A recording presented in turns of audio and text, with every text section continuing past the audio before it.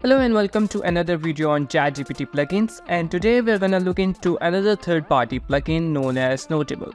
So we can use this plugin to create notebooks in Python, SQL and Markdown to explore data and create visualization which can be shared. Now, what Noteable can do, it empowers you to do data-driven analysis and you can do that by describing the data you want to work with, the analysis you need, the techniques you want to explore and how you want all that brought together in a literate programming document and you'll receive an entire notebook as a result.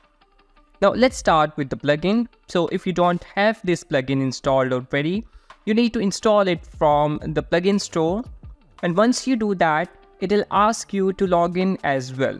So you can log in with Google or GitHub or LinkedIn, whichever way you prefer. Now I have already installed this. So let's start uh, running prompts. Let's run our first prompt which is just creating a notebook and printing hello world. And now you can see the plugin is running and at the end it will show us the result as well as give us the link to the notebook and if you open this you will see that it creates the notebook for us and prints hello world.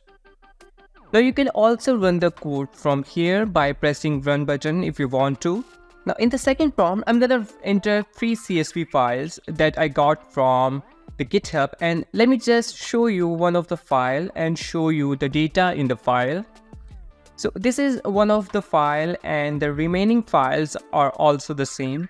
Now the prompt that I'm gonna run will merge the data from all three files and place it in the newly created file name Xbox data.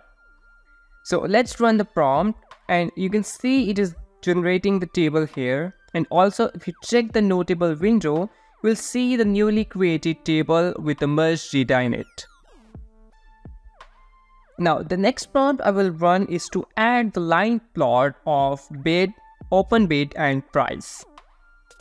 And now you can see it is creating the line plot and showing it here in the ChatGPT window and in the notebook also. So next prompt I'm gonna ask is the bidder who won maximum number of bids.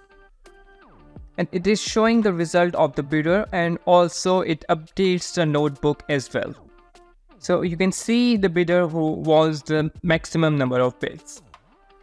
And lastly, I want the top 10 bidders in descending order and bar plot for the same data as well. So as a result, now it is showing me the data as well as the bar plot of the same data. And you can also check the data and the plot in the notebook as well. So that's how you can use the Noteable plugin in ChatGPT. I hope you like this video. I'll see you in the next one. Thanks for watching and have a great day. Goodbye.